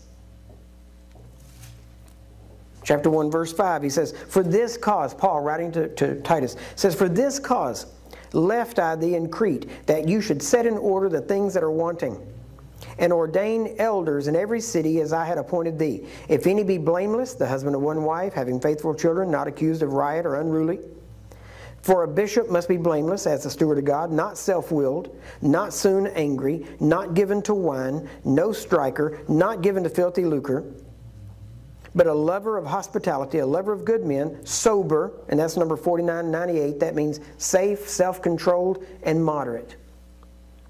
Just, holy, temperate, holding fast the faithful word as he hath been taught, that he may be able by sound doctrine both to exhort and to convince the gainsayers.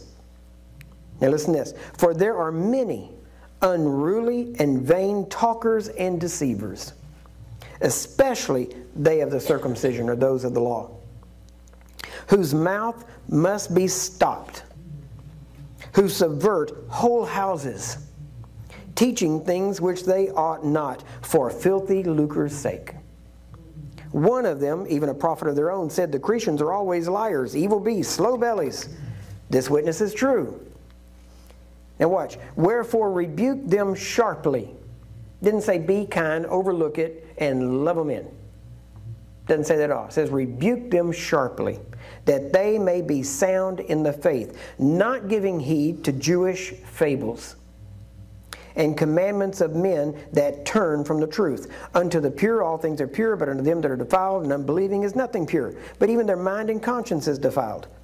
They now listen to this, verse 16. I want to underline this. They profess that they know God, but in works they deny him. Being abominable and disobedient, and unto every good work reprobate. Hear that? They profess they know God, but in works they deny Him. And in every good work here, he says that they are reprobate. Titus 2 But speak thou the things which become sound doctrine, that the aged men be sober. That's that word circumspect or vigilant. Be sober, grave or serious, temperate sound in faith, in charity, in patience. The aged women likewise, that they would be in behavior as becometh holiness. Not false accusers, not given to much wine, teachers of good things, that they may teach the young women to be sober. And that word sober means to have a sound mind or to be disciplined. The older women are, teach the, are to teach the younger women, be disciplined. Have a sound mind. To love their husbands, to love their children to be discreet, chaste, keepers at home, good, obedient to their own husbands. Notice it says to their own husbands, not everybody else's husband. Right? the reason I say this is because when we started our Bible school back in Denver, we actually had two husbands get up in class, go out on the front porch, and square off with one another, fixing to fight. Welcome to Bible school. Literally, because one had cornered the other one's wife and was really getting on to her, and the other one said, You don't talk to my wife that way. If you got a problem, you come to me, which is correct. And, but now the way they handled it wasn't because they both, and I'm up there teaching, and I see them leave and go out on the front, and then they're getting loud out there, and they're and they, they literally they squared off and were fixing to go at it in Bible school. I'm telling you, I, I did not think I was as naive as I have been. okay, it's amazing.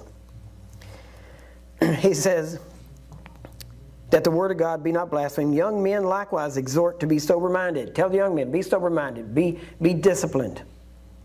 In all things, showing yourself a pattern of good works. Again, oh, a pattern of good works. So you should be doing good works, things that people can see. What is that? That's letting your light shine so to glorify your Father in heaven. They see your good works.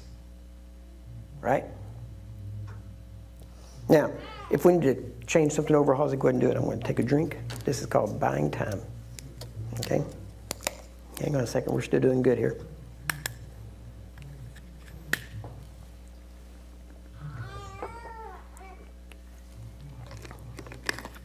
Okay, it's about as much time as I can buy. if they were singing, we could just take a moment and sing with them, but they're not. So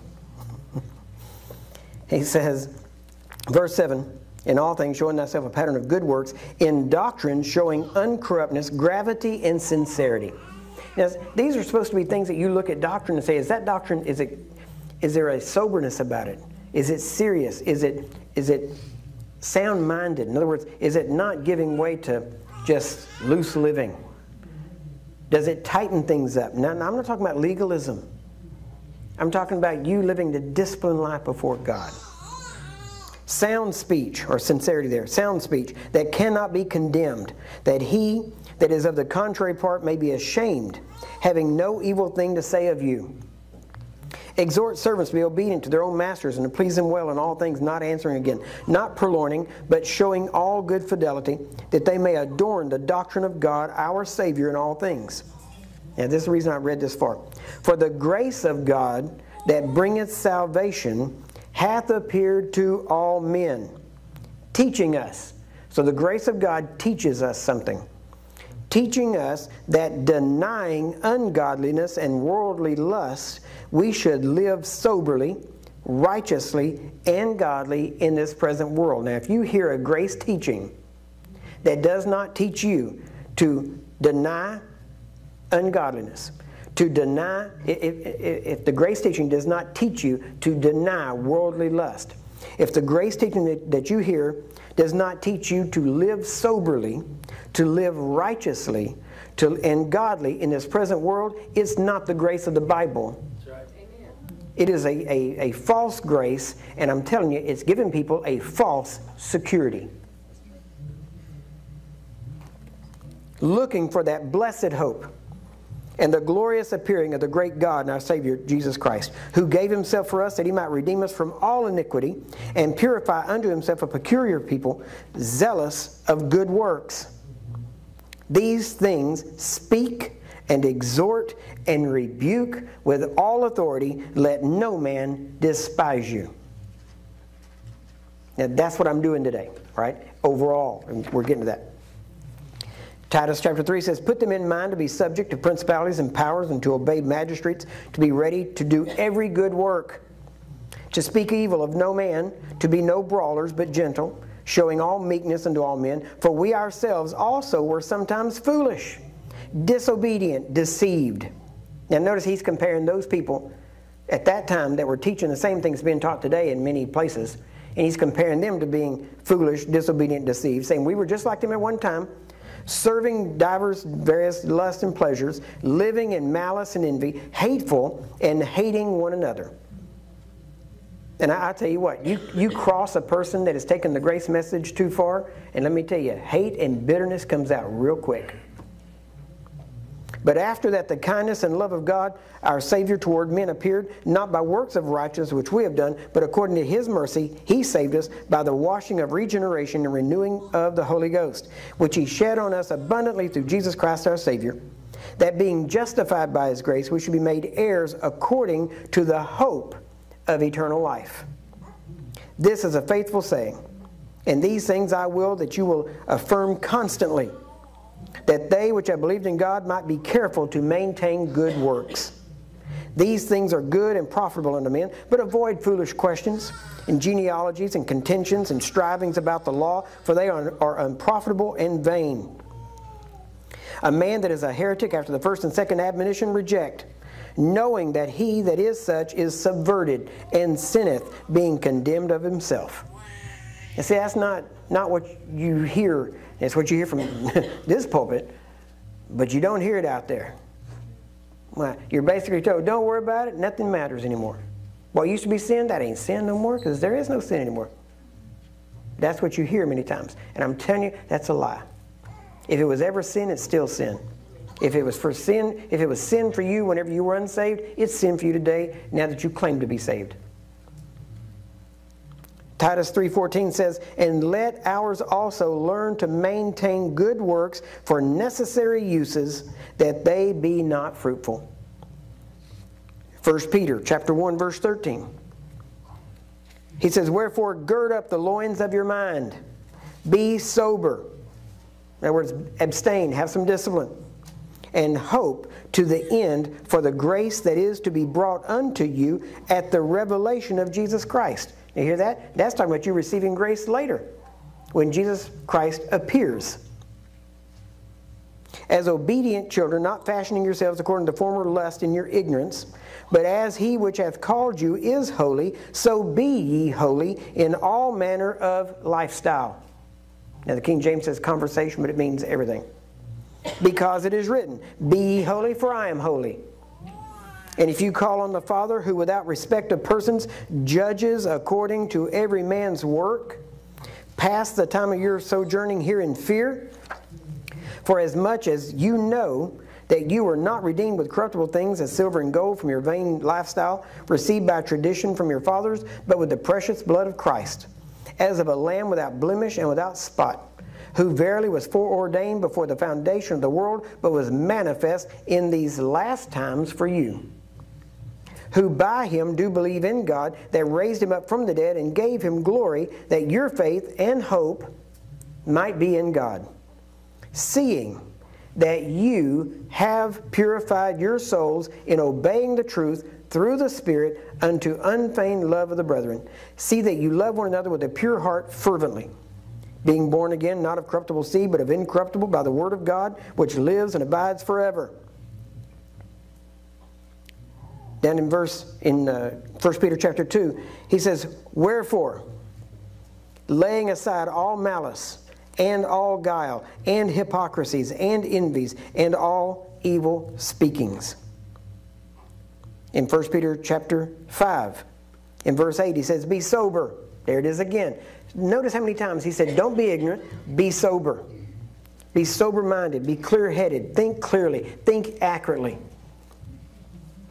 Be sober, be vigilant, because your adversary, the devil, as a roaring lion, walks about seeking whom he may devour. He didn't say you ain't got to worry about him. He says you got an enemy out there. Be vigilant, be sober minded, be clear headed. Don't let him deceive you. He's not going to walk up to you and, and try to get you to say, Well, I deny Christ. Well, he's not going to do that. He's going to try to get you off. He's going to try to say, Oh, yeah, I believe in Christ, but just live like the world. Seeking whom he may devour, whom resist steadfast in the in the world. But the grace of God, who hath called us unto his eternal glory by Christ Jesus, after that you have suffered a while, make you perfect, establish, strengthen, settle you. And then in 1 Timothy chapter 4, I'm going to try to hurry here. I think we're just, yeah, we're about done. 1 Timothy chapter 4, verse 1. Now the Spirit speaketh expressly that in the latter times, some shall depart from the faith, giving heed to seducing spirits and doctrines of devils, speaking lies in hypocrisy, having their conscience seared with a hot iron, forbidding to marry, commanding to abstain from meats which God hath created to be received with thanksgiving of them which believe and know the truth. But now notice the main part here is that it says that the Spirit speaks expressly that in the last latter times some shall depart from the faith. And that right there tells you it's possible to depart from the faith. If you couldn't depart, he wouldn't warn, and he wouldn't say that the Spirit is warning the church, saying in the last days there's going to be a departure from the faith. For every creature of God is good, verse 4, and nothing to be refused, if it be received with thanksgiving, for it is sanctified by the word of God in prayer. If thou put the brethren, notice if, if thou put the brethren in remembrance of these things, what things? That the Spirit speaketh expressly that people are going to depart the faith, giving heed to the seducing spirits. Thou shalt be a good minister of Jesus Christ. All right, you get that? Today I have fulfilled the responsibilities of being a good minister of Jesus Christ. You get that? Why? Because I'm reminding you, I'm putting in your remembrance that in the last days, the Spirit of God speaks very clearly and expressly that people can depart the faith and can go to seducing spirits and deceit and all these other things and depart the faith. A, a good minister of Jesus Christ, nourished up in the words of faith, and of good doctrine, whereunto thou hast attained. But refuse profane and old wise fables, and exercise thyself rather unto godliness. For bodily exercise profits little, but godliness is profitable unto all things, having promise of the life that now is and of that which is to come. 1 Timothy chapter 4, verse 9. This is a faithful saying, worthy of all acceptation. For therefore we both labor and suffer reproach because we trust in the living God, who is the Savior of all men, especially of those that believe. These things command and teach. Let no man despise your youth. Now, see, that's a scripture I don't have to claim anymore. For years, I had to claim that scripture. But I'm, I, I don't, I'm, I'm not a youth anymore, so I can, I've passed that one. I made it past that. But in the early days, many despised my youth and thought I didn't know anything because I was too young to know it, right? I don't have to worry about that now. I'm getting some gray, and people actually think I know something now. They'll actually stop long enough to listen and give me a chance to share what God gave me 30 years ago. Let no man despise your youth, but be you an example of the believers in word, in li- now obviously conversation doesn't mean word because he just said word, so he's not talking about speech. He's talking about lifestyle. In word, in lifestyle, in charity, in spirit, in faith, in purity. We're to be examples of these things. Till I come, give attendance to reading. Read what? The, the scriptures, the letters he's written to exhortation and to doctrine. Give attendance to doctrine. Doctrine is important. Neglect not the gift that is in thee, which was given thee by prophecy with the laying on of the hands of presbytery. Meditate upon these things. In other words, don't just come here and listen to them once. Meditate on them. Think about them. Let this be what you think about during the day. Give yourself wholly, completely, as we would say, to them, that your profiting may appear to all, your growth. Take heed unto yourself and unto the doctrine, continue in them, for in doing this you will both save yourself and them that hear thee. Hear that? If you continue in this, you'll save yourself. Well, he was talking to Timothy. Timothy was already saved, but he's saying there's a continuance, there's a perseverance that you have to maintain. And them that hear you. 2 Timothy chapter 2, verse 15. We all know this one. Study, be diligent to show yourself approved unto God, a workman. Not a student, a workman, somebody that's doing something that needs not be ashamed, rightly dividing the word of truth, but shun profane and vain babblings, for they will increase unto more ungodliness. And their word will eat as doth the canker, of whom is Hymenaeus and Philetus, who concerning the truth have erred, saying that the resurrection is past already, and overthrown the faith of some. He's saying these guys, they've erred. They've gone off, and they've even made other people lose their faith. Nevertheless, the foundation of God stands sure, having this seal The Lord knows them that are His. And let everyone that names the name of Christ depart from iniquity. Now, you can't get any plainer than that. But in a, now watch this. But in a great house, there are not only vessels of gold and of silver, but also of wood and earth, and some to honor and some to dishonor. If a man therefore purge himself, it does not say if God purges a man.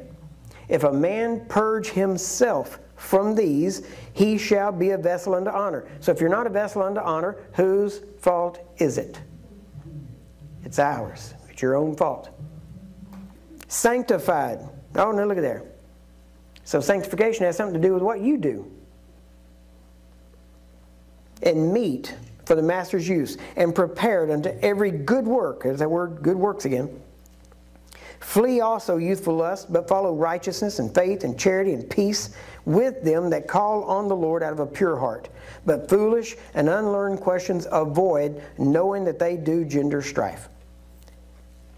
Now we're running one last time here back to Peter, 1 Peter chapter 4, verse 17. For the time is come that judgment must begin at the house of God.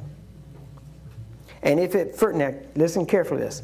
And if it first begin at us, what shall be the end of them that obey not the gospel of God? And if the righteous scarcely be saved, where shall the ungodly and the sinner appear? Hear that?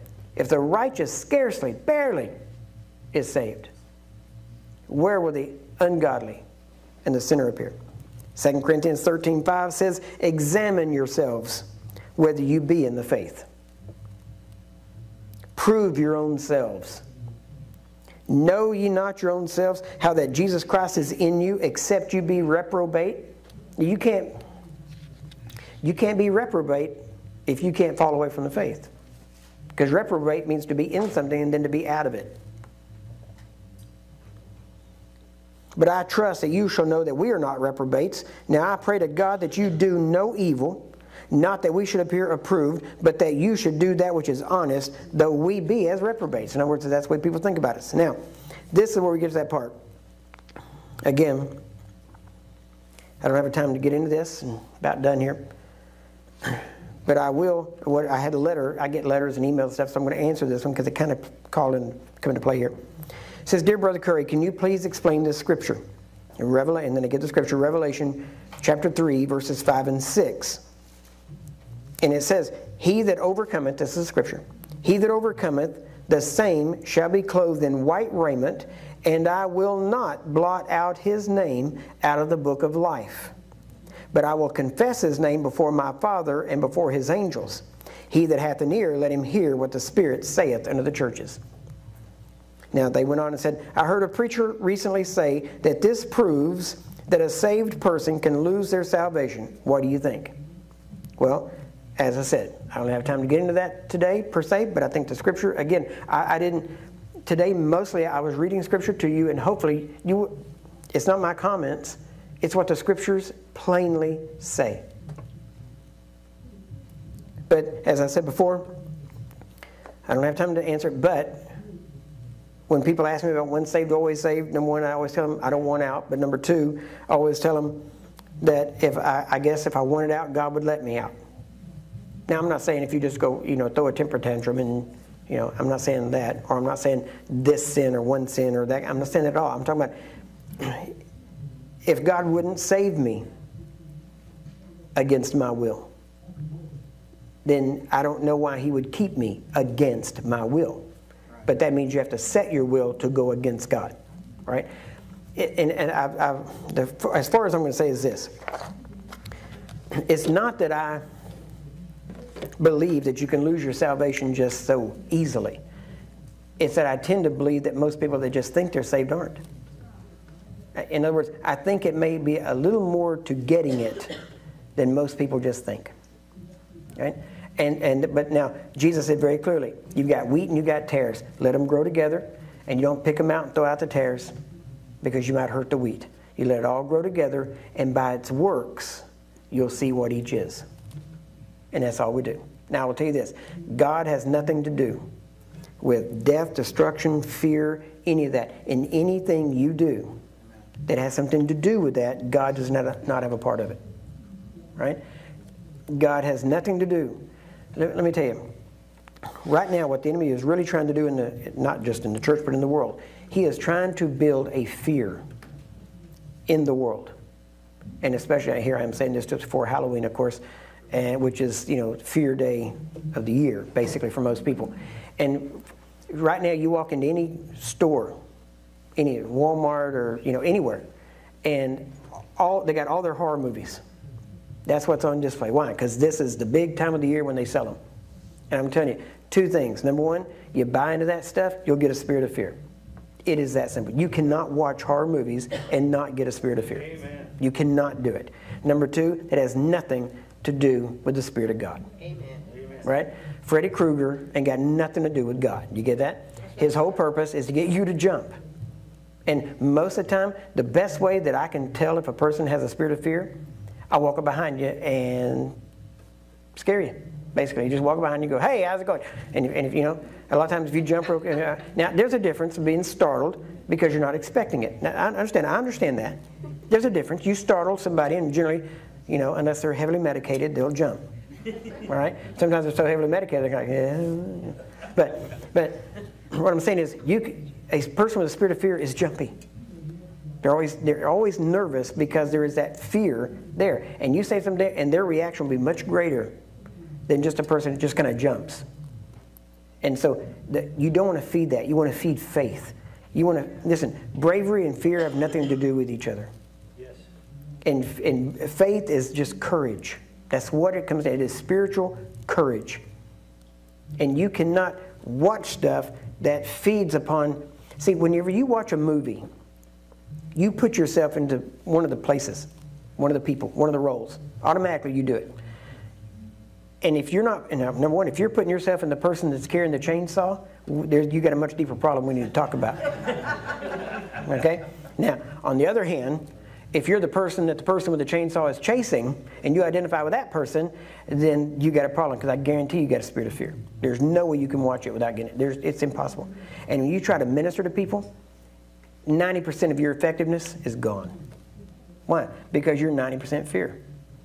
And it will overflow into every other thing. So, uh, in this time of the year, you know, we have to bring these things out.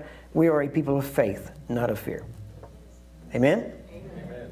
So, in all of this, this is where we need to start moving toward. In our life, in our conversation, in everything, we always need to be full of faith. There are things that are going on in this world right now that you can look at it through two eyes.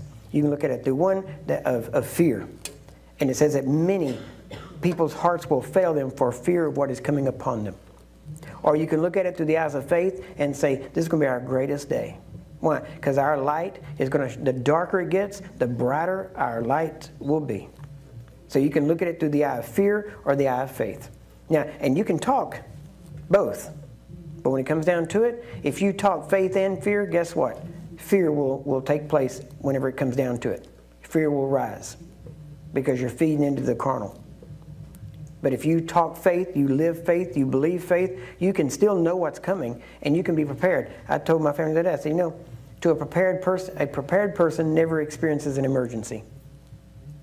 Why? Because they're prepared, right? Then it's like my daughter said the other day. She said, you know, Paul got bit by a snake. God didn't say the snake wouldn't bite you right? Sometimes you get bit by the snake. Guess what? You shake it off and you go on. And when the people see how you shake it off, it builds their faith. Right? So sometimes it's not what you avoid, it's what you go through and how you go through it that helps other people's faith. So, all right. Let's all stand up. Now, as I told you before, I am packing and loading, getting ready to go on the trip, so we have to leave fairly quick after this, but I do want to uh, pray for you. Oh, yeah, we got to, I always forget, do the offering. if they didn't wave the basket at me, I wouldn't even have time to think about it. So, we're going to pray. I want to pray for you. We're going to pray with the offering. We're going to take care of all this stuff. And then we're going to dismiss you. If you need prayer, we'll be here to help you. I myself can probably pray for a couple. Can't stay too long, but then I can also, uh, Kevin and them are here. There are others that are here that can pray. Right? Please do not get into idolatry. I'm not the only person that can pray. All right? God lives in every believer in here, and He can work through anybody here that will let Him. So, Father, I thank you right now for these people. I thank you, Father, that your word has come forth as your Spirit has desired, that it will also have the desired effect, that it will not return void, but it will accomplish the purpose to which you sent it. So, Father, I thank you right now that your word has settled into and abides in the hearts and the minds of these people who are under the sound of my voice right now, who are your people. And Father, I thank you that they do examine themselves, that they do prove themselves. Father, I thank you right now that your Spirit gives witness to us that we are your children. And that right now, by the Spirit of God, we release life, we release health, right now in the name of Jesus. If you've never received the baptism of the Spirit, right now, that is your heritage to tell God you want it. And if you ask Him, He will give it to you. So it's that simple. Right now, in the name of Jesus, just receive the Holy Spirit with the evidence and the fullness of speaking in other tongues and allowing the Spirit to work through you in that way. So, Father, I thank you right now. There are those under the sound of my voice that were religious, not saved, but through this preaching, they have discovered that they were not right with you. They were religious, they had uh, different works and things, but right now, they are choosing in their heart to say, Jesus, I make you my Lord. Not just Savior, Lord and Savior. And as they do that right now, their hearts are made new, their, their spirits are recreated, they are born again even now. And right now, by the Spirit of God, we release life and health and strength. We command sickness and disease, go in Jesus' name. You leave these people and never return. Every problem, every ailment must go now in Jesus' name. Right now. Complete fullness of life in the name of Jesus. Father, I thank you even for these finances that are being received that we right now we bless those that that are able to give and to those that desire to give but even can't. We say right now let your blessing flow upon them that they can also be able to give as they would desire. Father, I thank you. In Jesus' name, we receive these to work in your kingdom, and I thank you for it in Jesus' name. Amen. Amen.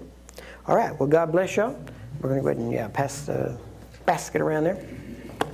Now, we will be available to minister to you. Uh, we are going to be loading kind of at the same time. So we appreciate you coming. Um, other than that, now if you do want other information on being a member of the church, there's some paper behind the seats there. You can actually fill that out and turn those in.